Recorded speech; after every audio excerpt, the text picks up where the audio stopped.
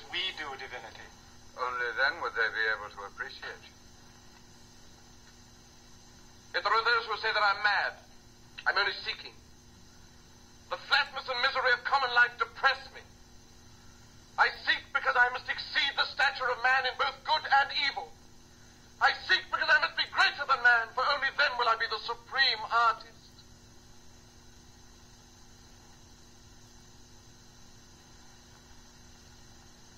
You know why I condemned both my wife and my mother to death.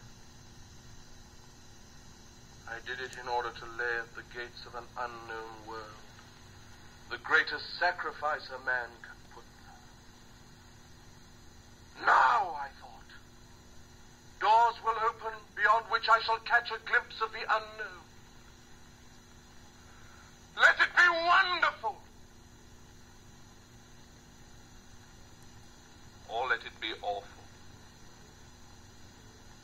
So long as it is uncommon.